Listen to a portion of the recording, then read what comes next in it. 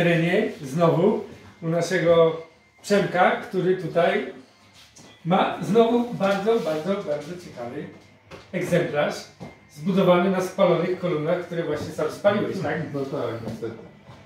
I co ciekawe, pokażemy to może z boku trochę, jaka tu jest płyta. Opowiedz Przemek tą historię, bo ona jest bardzo, bardzo ciekawa. Co to było wcześniej, bo robiliśmy o tym program.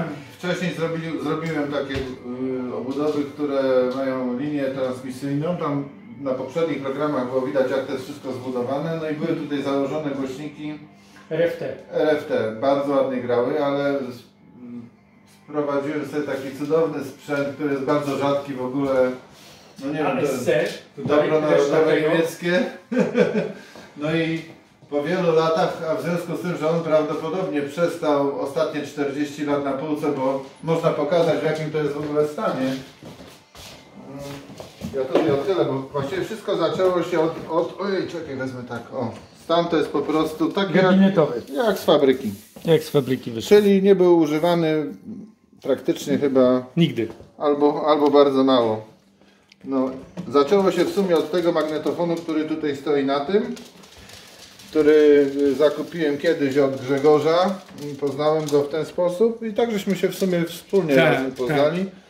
A Teraz po wielu latach trafiła się taka okazja, ponieważ e, przypadek zrządził, że ktoś przywożąc to do Polski nie za bardzo chyba wiedział co to jest. No, a, a że ostatnia moja licytacja takiego sprzętu skończyła się w Holandii na 2000 złotych sam e, wzmacniacz, także uważam, że no, Kupione bardzo dobrze. kupione bardzo I dobrze ASC. działające, ale co się zemściło, no ta długotrwała nieobecność pod prądem. Tak, nie? tak. No, jak strzeliło, to poszły głośniki takie jak te jedne, Ditony, ale nie byłem tego bezpośrednio s- świadkiem. Mówię, coś nie działa, podłączę drugi zestaw i w tym momencie poszedł drugi zestaw.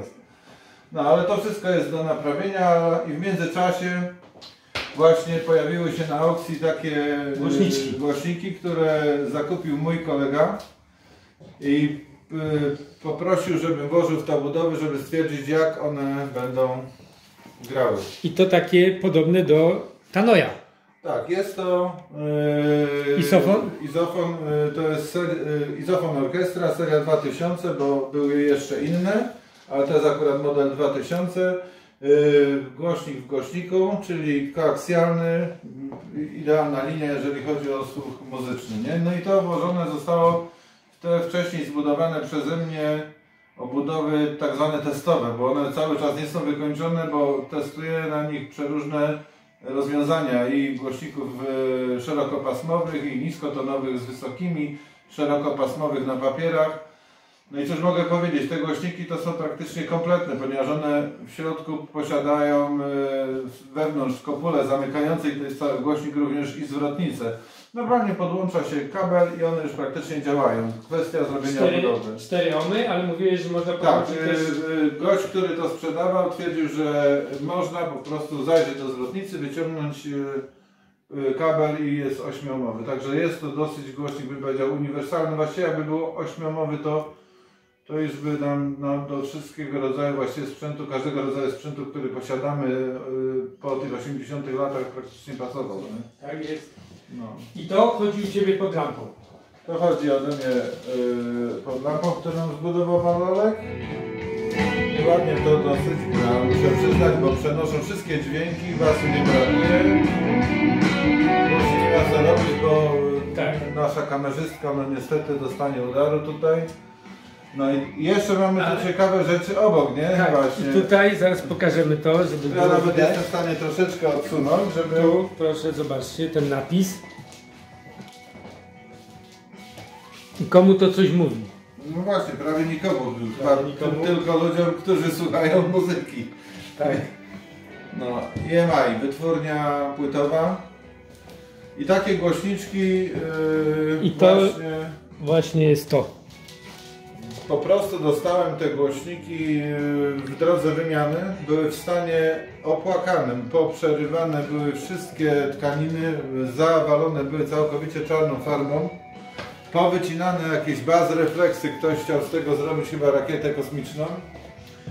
No i bo to- teraz odnowiłeś już bardzo ładnie. Tutaj Ja już więcej są. nic z tym nie będę robił, bo dlaczego? Bo uważam, że głośnik jest na tyle stary, że trzeba. Bardzo ładne drewno jest. Ja w tej Mhm. chwili to zrobiłem w takim szczotkowaniu, bo ta farba, która tutaj była użyta, ona była tak głęboko w tej okleinie, że y, jakiegoś tam y, efektu super nie szłoby y, dostać, ale jedynie może myślę tak oklejanie by coś tu dało, dobra, ale, Ale uważam, że to jest bez sensu, bo to jest typowy vintage, nie? Tak. No tutaj może tego nie widać aż tak bardzo, ale y, koszt tego głośnika jest tej wielkości. To jest po prostu taka konstrukcja cała odlewana, pomalowana farbą młotkową na zielono, tak kiedyś się maszyny malowało. No niesamowite. No ten głośnik to przy tym to jest normalny szerokopasmowiec, a wygląda, no i wszystkie zawieszenia y, są tutaj zrobione z takiego jakby materiału powleczonego gumą. I jedne i drugie, za wyjątkiem wysokotonowego, który jest całkowicie papierowy. Ale te głośniki znamy z innych starych konstrukcji. Tak. Jaka to jest mikra ceweczka, nie? No to jest mniejsza niż półcalowa. No jak ołówek. Jak na, na łówku, rzeczywiście. No i tak grają może, no to jest może podobny głośnik jak nasze y, przy tych A17. Tak jest. No. Y, podobne konstrukcje takie, nie? A masz to podłączone? Oczywiście, że mam. Tylko bym musiał, mam to podłączone pod Bo- taki kolejny sprzęt. Germanowiec? Germanowiec. Przemek to w zasadzie mógłby być No. przezwisko German. No, German Style, nie? Tak w Tak. tych samochodach. To- Ale to nie, nie będziemy robić negatywów i takich różnych rzeczy, nie? To jest bardzo stary telefonken. y, y, To jest y, V, V201. y, Zrobiony właśnie na tranzystorach germanowych. Nawet tutaj jest taka ciekawa, taki ciekawy kontur jeszcze poza konturami, które są też Extreme. Extreme. Mhm. Właściwie to jest zbudowany dokładnie jak ten telefonken Concertino na dole, z tym, że On tutaj jest piękny, to Concertino. Concertino ładnie odbiera i No. jest y, też... Też mam Concertino, ale chyba troszeczkę inny model. No one się tam trochę różniły, bo jeden Tak. miał programator, drugi Tak, miał na tak, przykład tak, dwa tak. lub trzy wskaźniki, bo jest Tak, ja mam trzy wskaźniki właśnie. no to to masz teraz jakby bogatszy jakiś taką wersję. Ale nie? nie wiem, czy tam jest programator, nie pamiętam teraz. Ale No. twoje jest w pięknym stanie, nie? Moje ktoś No. pomalował na białą farbą. No tam I- ludzie dla, dla żony robią, rob, robią różne rzeczy, nie? Tam Ale powiedz mi, ten telefonken jest też na Germanach, nie? Tak, to jest na Germanach. Ta, No mój- ta Saba też jest na Germanach pod spodem.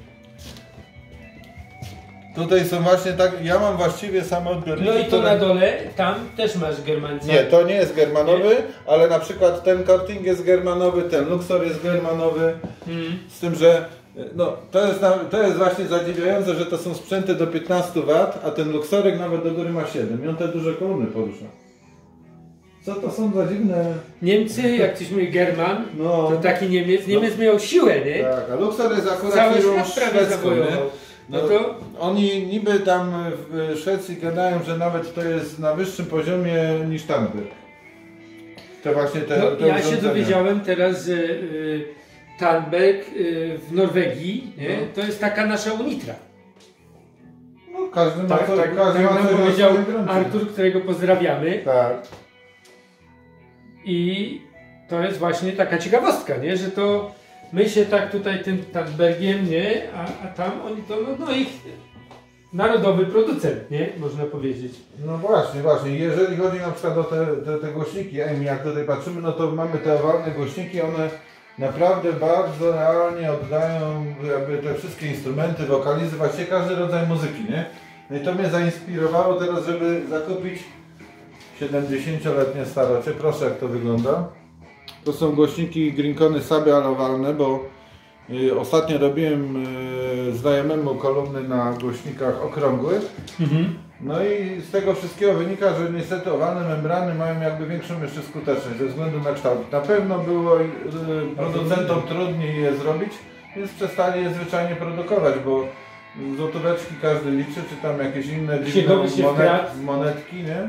No i tak to wygląda, nie? A zestaw na kolumny to jest tylko tyle, albo aż tyle, jak to woli. Tutaj mamy starego izofona z takim śmiesznym jeszcze magnesikiem. Jak dzwonek kiedyś w starych No żebyś wiedział, to samo powiedziałem jak go zobaczyłem. No dzwonek, nie? Dzwonek do roweru, nie?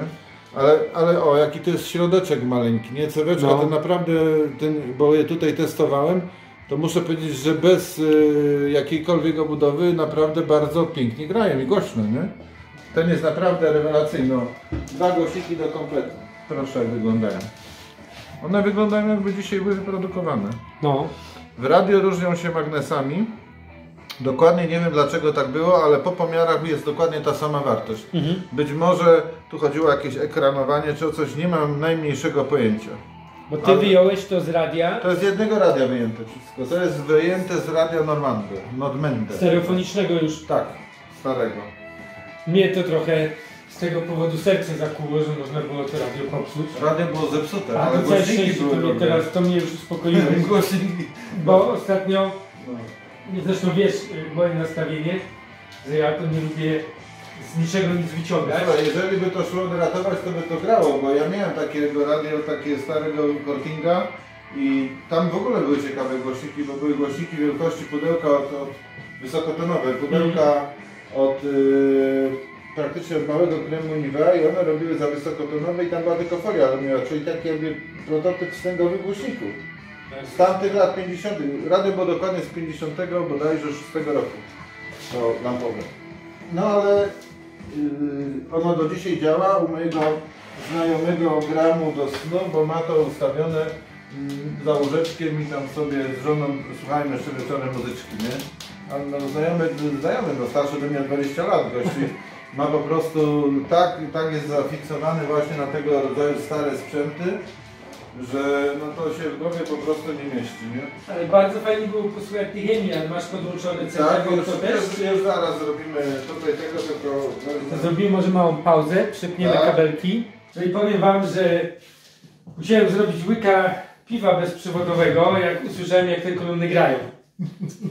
I nie będziemy tego nawet prezentować, bo to nie ma sensu. Muzyka e, bez praw, którą moglibyśmy tutaj włączyć, to zepsuje cały efekt. Prawdziwej muzyki nie możemy włączyć, bo, bo nie możemy. A te kolumny dosłownie mnie zamurowało, jak one pięknie grają te Emi. To jest niesamowite. No. Jest i wysoki, i niski, i średni, wokal, wszystko. Dynamika, wszystko Dynamika, wszystko. Fantastyczne kolumny. Próbowaliśmy tutaj naprawdę coś znaleźć, coś co by pasowało do tej prezentacji, z telefonu nawet, ale nie ma nic. No, wtedy Jakby było- jest sygnowane albo wymagające zgody jakiejś. No tak, i, i nie możemy tego zrobić, dlatego żałujcie, że nie możecie być tutaj z nami, bo po prostu O, teraz jest muzyka bez Tak. praw autorskich. Oj, to też nie To był wiadomo. właśnie dzwonek do domu. i to też nie wiadomo, czy jest bez praw autorskich. Romek mówi, ja otworzę. Kontynuuj. Może następni goście może coś ciekawego przynieść. No, albo przyszli po coś. Halo?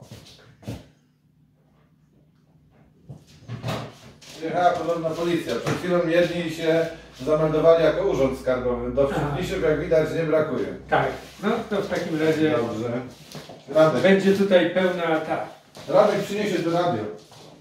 Pełna obsada. Bardzo O, stare. wiosą tak, O! na ramieniu idzie stare radio. Stare na radio ramieniu. Nordmende. To będzie ciekawe. W każdym razie, gdybyście gdzieś te kolumny widzieli, to kupienia bierzcie w ciemno. Nie zobaczycie. Ale prawdopodobnie nie Nie zobaczycie, zobaczycie. bo temat może być bardzo, bardzo ciężki.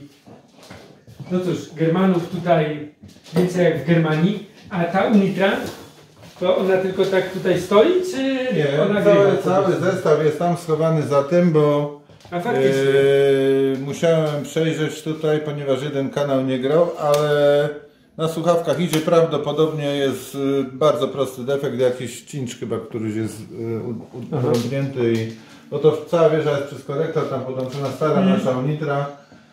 Y, Do tego jest tam gramofon y, jeszcze unitrowski. No dobrze chodzi, tylko no wiadomo jak to polskie rzeczy, no czasami niecentryczne talerze, Tak. czasami y, inne różne duperele, no ale jest to jednak kawał historii naszego kraju. Jak nie? najbardziej. Jak Ja najbardziej. kocham, no. ale mam też płytę drzemu, która też, płyta winylowa, która, ma otwór nie na środku, No może- ale powiem Ci, że idzie jej słuchać. Ramię chodzi prawo-lewo, ale, idzie, idzie, jej no słuchać. Idzie, idzie i słuchać właśnie. Tak. Także takie rzeczy w naszej Polsce Ludowej się trafiały, właśnie takie cuda. Kolumny w dwóch kolorach w jednym zestawie, Tak, tak, które też tu kolega przetestował po odkryciu czarnej farby. zgadza się. Tak. To były te rewelacje, a tutaj mamy te kondensatory oryginalne. Nie? Mówiłeś, to są oryginalne z tych Tak, no, pan, który zaoferował mi te kolumny na wymianę, nawet y, wymienił na oryginalne Mondorfy, tutaj bardzo drogą wymianę zrobił w tych kolumnach, ale podejrzewam, że te kondensatory, które tutaj by trzeba je właśnie pomierzyć, czy one nie są Nadal lepsze. nadal lepsze, nie? Wszystko Więc zostawiłem to wszystko, bo do różnych moich realizacji to jeszcze się może przydać, bo dzisiaj dobry towar, jeżeli chodzi o podzespoły, to też ciężko jest y, uchwycić w ogóle gdziekolwiek zrobić, nie? Zobaczcie tutaj Shaw Lorenz. Bardzo, bardzo ciekawy. Włączę go na chwilkę, jak ładnie Tak. świeci. No może opowiem, no nie, zostaw go. Tutaj jest coś takiego, że oryginalnie nie jest podświetlana w ogóle skala. Tu mamy wyświetlacz strojenia, ale dodatkowo to jest bardzo duża rzadkość, że są wskaźniki wychyłowe na każdy kanał. Jak, tylko, że tutaj to są wskaźniki faktycznie mocy. One tak zaczynają przy tym sprzęcie działać od połowy, a żeby dojść do połowy, no to już jest człowiek głuchy, nie? Ale rzeczywiście to wszystko działa. Tu jak zmieniamy funkcję na wybieraku, to proszę zobaczyć, jak ładnie się te kontrolki zapalają. Wiemy, z czego korzystamy. I sprzęt jest, powiem szczerze, bardzo mocny i w ogóle wyjątkowy, bo firma e, e, ITT czy ITT e, zamówiła to w firmie duńskiej Skandyna. Produkowali to urządzenie tylko przez półtora roku i jest tego na rynku bardzo mało. Nawet w internecie kiedyś znalazłem film, ktoś to znalazł dosłownie na jakimś śmieciowisku czy na czymś, to jak to rozebrał, to się po prostu zdziwił, co tam w środku jest, jakie tam są porządne, po prostu nawet cewki dobrze ponawiane. Rzeczywiście dźwięk jest y, bardzo mocny, tam jest niby y, 70 W na kanał, ale ja nie wiem, to chyba to 70 W rzeczywiście jest podane tak y, rzeczowo, nie? No i końcówka chyba jest zrobiona tam, o ile się nie mylę, na kapeluszach, także to jest naprawdę, dźwięk jest super, nie? No i gramofonik Brauna. Ojej, to jest starość, to naprawdę, proszę Państwa, to jest kombajn do czereśni, naprawdę rewelacja. Właściwie gramofon nie posiada żadnych e, stabilizatorów elektronicznych obrotów, ale y, tutaj po prostu tak wszystko chodzi jak w niemieckim wojsku Albo w szwajcarskim zegarku. albo w szwajcarskim zegarku. No. Tutaj nawet jest takie śmieszne to, że można w kilku pozycjach o, właśnie zatrzymać pokrywę. Pokrywa do dzisiaj istnieje, to już jest cud w ogóle. No, w Dobrze. takim stanie. Przeważnie to jest tak, że te pokrywy niestety do nas nie dojeżdżają. Nie? Mm. Czasami mam wrażenie, że ta pokrywa jest droższa od tego całego urządzenia. I czasami właśnie tak. Wkładka bardzo dobrej jakości. Do dzisiaj naprawdę super dźwięk z niej idzie. Pod spodem tutaj możesz zrobić zdjęcie. Złote napisy, to niektórzy naprawdę lubią. No. Starocie, ale w takiej jakości zrobione, że właściwie ten sprzęt, mając już tyle lat, nie ma po prostu się czego wstydzić ta firma, firma Brown. Która zresztą jest bardzo mocno spo- pokrewniona, no niestety z ASC. ASC to się okazuje, że Grzegorz poszukał i teraz y, znalazł linkę, że to ASC rozwinęło produkty Brauna na wyższy poziom. Nie? No ale spr- sprzęt jest właściwie niszowy, bo magnetofony szpulowe nagrywają w takiej jakości te duże, z, y, bo tutaj ja mam y, AS 5004, ale jest AS, który ma Grzegorz y, 6000 wersję 4 i 6002, która jest wersją dwuścieżkową, bo to jest z czwórkami, to są czterościeżkowe, ale przede wszystkim mają w swojej gamie produktowej, albo raczej mieli, nadzwyczajny magnetofon kasetowy, który jest, y, ma symbol AS3000 i tam właściwie kasetę się wkłada bezpośrednio w silnik. Mhm. Ma właściwie wszystkie te reduktory szumu i jakieś różne rzeczy, które posiada na Comici Dragon i ma jeszcze do tego dwa. Także cenowo uzyskuje niby niższy pułap, Mhm. bo to wiadomo dużo działa, ale jakościowo pewnie wyżej stoi nawet niż Dragon. Bardzo możliwe, trzeba Bardzo będzie go możliwe. poszukać. Rzadko kto go widział, znaczy ja wiem gdzie jest. Jeden jest y, na aukcji za 7 tysięcy w tej chwili. No ale No to- takie, takie ceny uzyskują. No na, na Kamici Dragon 8, Ale ostatnio na 15 też Kamici, potrafi być. ostatnio był na No. Kamici Dragon za równe 1000 euro. To była naprawdę rewelacyjna cena. No tak, no to trzeba było kupować i sprzedawać. Tak. No bo to tak właściwie... To, Ale długo nie stał. no długo nie stał, bo za tą cenę podejrzewam nie byłby w stanie. nie? No. No tak, także No będziemy... to właściwie te historyczne sprzęty to wszystkie mają jeszcze jakieś dodatkowe funkcje, to których w ogóle dzisiaj się nie używa. No na przykład ten Luxor tutaj niby taki prosty sprzęt, ale ma już ambiofonię, można sobie regulować płynnie opóźnienie przodu do tyłu. Ten taki tam niepozorny na dole, e, tu go wyciągnę, bo nie wszystko jest podłączone, ale też bardzo pięknie grający. W ogóle jak połączenie się kapitalnie świeci, bo skale są zielone, czerwone podświetlenia, to wszystko na czarnym graficie. No i tutaj też mamy ambiofonię przy nim. To jest normalnie quasi quadro sprzęt, nie? czyli nie jest jakiś tam dźwięk ładny, ciepły, taki analogowy. Mm, Jakbym porównał na przykład, z, bo z Sabem miałem przedtem taką 9140S, która jest uważana za, za sprzęt już e, średniej klasy wyżej może, to bym powiedział, że to, chociaż jest marketowe, robione dla Neckermana, to gra mi się wydaje lepiej. Ktoś teraz y, znajomy, z którym ostatnio y, troszeczkę pogadałem sobie, to twierdzi, że już w Sabie wtedy było za dużo Japonii. I może coś w tym Może być. Może być. No. Może No, być. to są takie tajemnice, no nikt kuchni jak gdyby nie zdradza, jakie przyprawy stosuje, prawda? I skąd Tak jest, dobry kucharz No właśnie. Ma swoje tajemnice. Tak. No my będziemy Ciebie na pewno jeszcze nie raz odwiedzać. Zobaczymy, co tutaj jeszcze te obudowy za różne dziwolągi przyjmą. Tutaj chyba już nie przyjmą zbyt wiele, one powinny przede wszystkim przyjąć okolinę farbę, to by było najlepsze, No tak. co by mogły przyjąć i dopracować po prostu kształt tej całej budy. No rzeczywiście jakieś tam pomysły na wykończenie tych kolon mam, ponieważ e, no, poza tym, że muszą grać, to też muszą ładnie wyglądać, tak? No tak, ale jeszcze nie podjąłeś ostatecznej decyzji, co w nich będzie grać. Bo te nie wiadomo, czy zostaną. No myślę, że te głośniki na razie zostaną. No Zobaczymy na razie. jak długo. Kto to zamieszka, znowu nie wiadomo. No. Chociaż powiem szczerze, że te RFT, pomimo to, że to jest budżetowy w tej chwili głośnik, to ja uważam, że każdy powinien mieć taką kolumnę na RFT zrobioną, bo to jest kurczę ta, ta membrana z, tej, z tą estradą, to tak fajnie, ciepło i skutecznie gra, że właściwie nic więcej nie potrzeba. My idziemy w nie wiadomo jakie kurcze konstrukcje za miliony złotych, a tu można roz, ro, uratować może inaczej rozwaloną kolumnę estradową, wyjąć te głośniki jeszcze dzisiaj, bo nic się może z tym nie zrobi, więcej i coś takiego wsadzić i kurczę, oczy się otwierają, szerzej troszkę, nie? No tak. Fajnie. Dziękujemy za tak fajną prezentację, że mogliśmy znowu pokazać troszeczkę bardzo ciekawego sprzętu.